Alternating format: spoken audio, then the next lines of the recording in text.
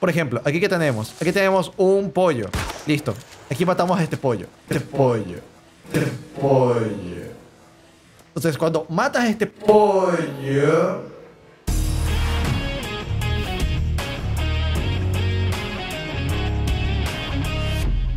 He estado jugando New World no por mucho, debo admitir, no por mucho.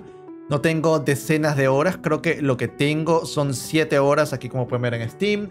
No es tanto tiempo, pero creo que ya vi la mayoría de las cosas que puedes ver en New World. Es exceptuando el PvP.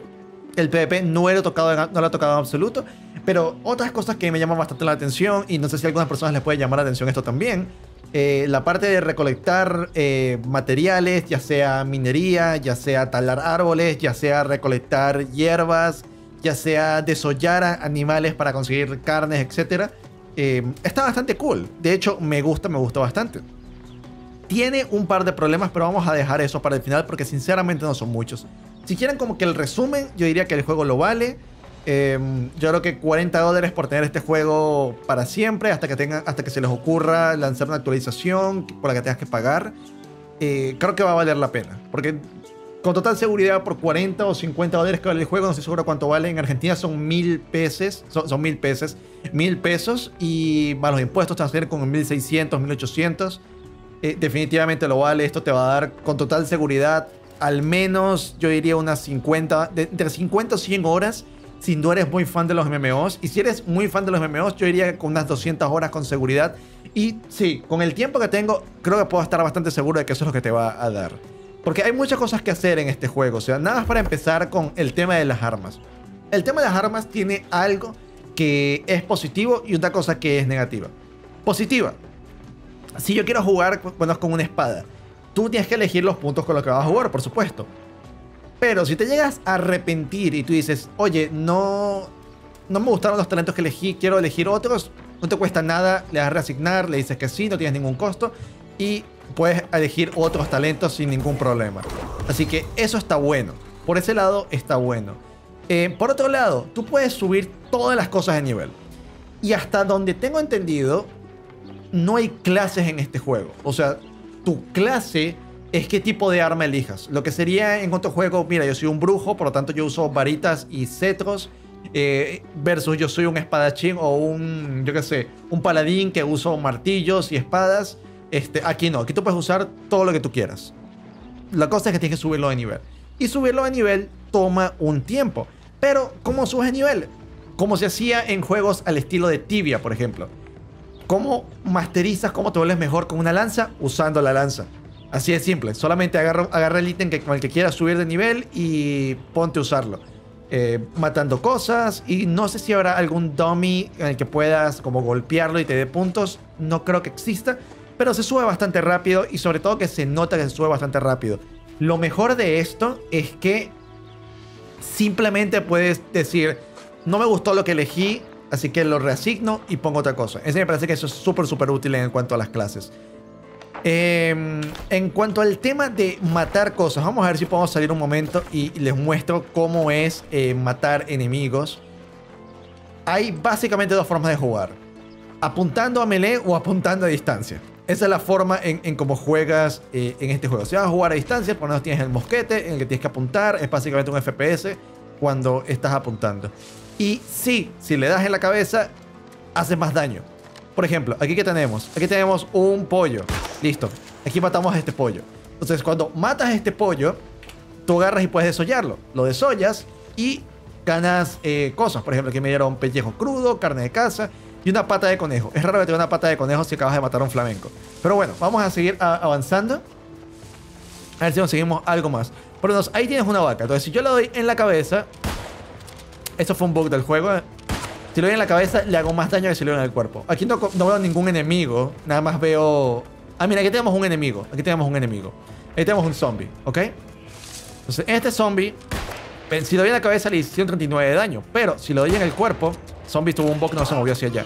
Si lo doy en el cuerpo, le estoy haciendo solamente 107 de daño. Entonces, claramente, si le das en la cabeza, hace más daño. Ahora, el mosquete es muy lento, como vieron. La lanza, por otro lado, es mucho más cool. Porque la lanza es básicamente lo rápido que tú puedas tocar el mouse. Bueno, tampoco, tampoco así, pero pero es bastante rápido en comparación al mosquete. Y puedes esquivar los ataques como están viendo acá.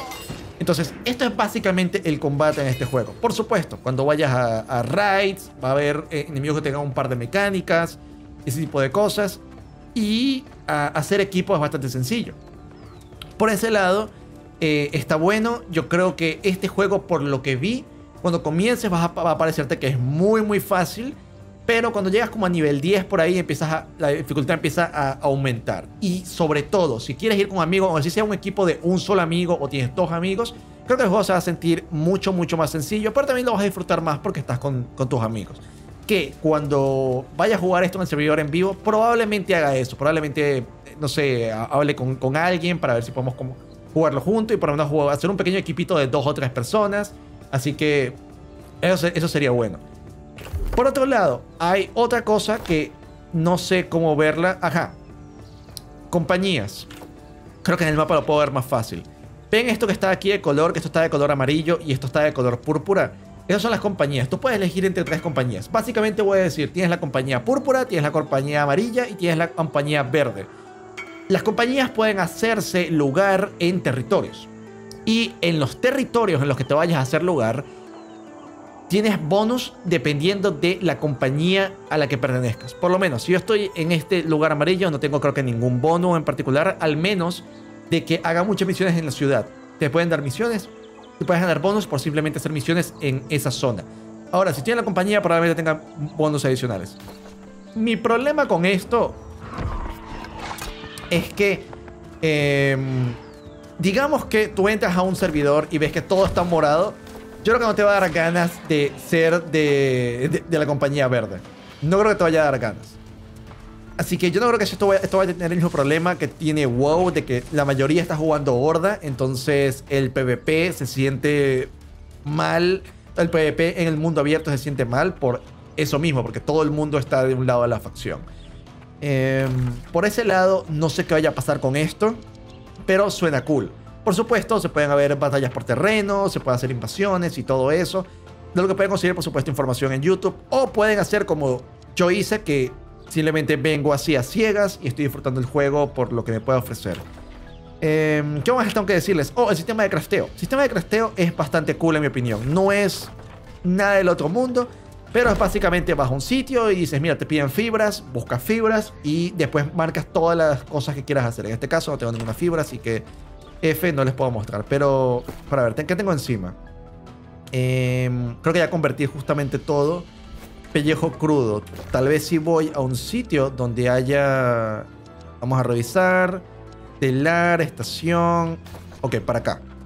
Creo que para acá... ¿Cómo se lee esto? Curtiembre. Ok, en el curtiembre... Acá. Ajá, puedo hacer cuero crudo. Cuero burdo, perdón. Entonces aquí yo marco la cantidad que quiero hacer. Y a medida que vas mejorando tu habilidad, por ejemplo, yo tengo nivel 21 y sube bastante rápido, no se asusten, sube muy, muy rápido. Eh, tienes oportunidad de fabricar objetos adicionales. Entonces, tienes un pequeño bonus ahí. Y por supuesto, a medida que subes de nivel, puedes hacer mejores cosas. Pero para hacer mejores cosas también tienes que conseguir los materiales correctos. Bueno, aquí sube a nivel 22.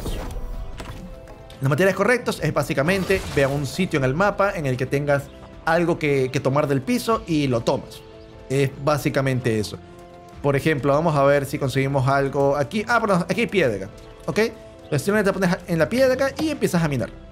Nada del otro mundo, es básicamente igual que en muchos otros juegos de este estilo. Eh, lo mismo creo que sucede con la pesca y creo que la, pesca mentira, la pesca no la he probado así que no sé si será igual, pero probablemente sea igual. La tala es básicamente lo mismo también, te acercas a un árbol que quieras talar y lo talas. Eh, los arbustos no necesitas nada en particular, así que simplemente agarras el arbusto y ya. Pero por lo menos aquí un árbol para mostrarles cómo sería la tala. Está, empiezas a talar el árbol y listo. Eh, hay árboles que son muy grandes y que no vas a poder talar hasta que tengas cierto nivel. Eh, increíblemente, a muchas personas les va a parecer aburrido, como que, ok, nada más tienes que esperar a que termine la barra y listo. Eh, sí, básicamente. Pero por otro lado, a mí por alguna razón me, me, relaja mucho ver esto. Por lo menos este árbol joven lo puedo hacer, pero este árbol maduro no lo puedo hacer porque es nivel 50. Y mi habilidad con oficio todavía no está ahí. Estoy en, si es que lo puedo conseguir, 41 fundición, talado 26. Aquí está talado 26. Tengo que talar más para poder talar eh, los árboles maduros. Pero bueno, eso es básicamente lo que he visto del juego. En mi opinión lo vale. Hay bastante que hacer. O sea, nada más con ver esto, tú sabes como que, oh shit, tengo un montón de cosas que hacer. Y probablemente no sea eh, tan bueno enfocarse en todo, sino decir, mira, yo me voy a eh, enfocar en esta cosa y voy a buscar personas que estén enfocadas en esta otra cosa.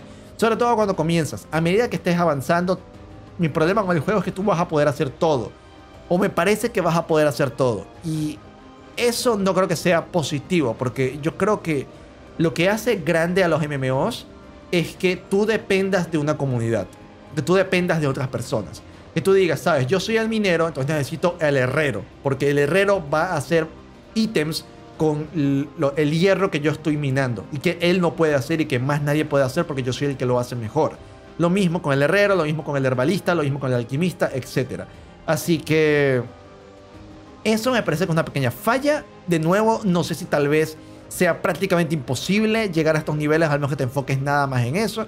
Pero a la larga, si no hay ninguna restricción en poder elegir todo, hay personas que van a llegar a todos. Y son las personas que no requieren, no dependen de nadie. Y eso es lo que tiende a, a muchos juegos. Y yo creo que un MMO tiene que tener comunidad. Y, decir mucho para alguien que generalmente juega solo en la mayoría de los juegos, pero yo creo que esto es eh, la forma correcta de hacer un MMO. O algo muy importante un MMO. Eh, recompensas por subir nivel, no sé qué es esto. Ah, mira, tengo recompensas por subir nivel. Eh, no tengo idea de qué es esto, pero bueno. En cuanto a los atributos, tenemos fuerza, estrés, inteligencia, concentración y constitución. Constitución, básicamente vida, concentración, de concentración a fuerza. Aparte de cada cosa te dice qué es lo que hace si pones la... Em, la manito sobre el signo de interrogación. Es básicamente lo que sube daño dependiendo del arma que estés usando. Por ejemplo, yo voy a usar eh, mosquetes y lanzas. Las lanzas escalan con destreza y fuerza. Y el mosquete con destreza e inteligencia. Así que me, conviene subir mucho la destreza, que es lo que he estado haciendo. Si vas a usar alguna de estas armas, te conviene más subir la fuerza. Por supuesto, pon la manito encima del arma a ver qué es lo que vale la pena. Por lo menos gran ancha, gran hacha eh, funciona nada más con fuerza. Así que mi duda es si en super late game vale la pena usar ítems que escalen con un solo tipo de atributo.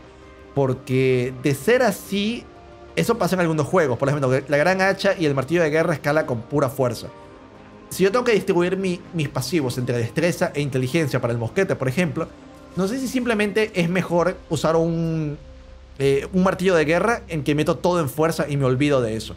Y el daño va a ser muy, mucho mucho mayor por el simple hecho de que todo estoy tirando un solo atributo.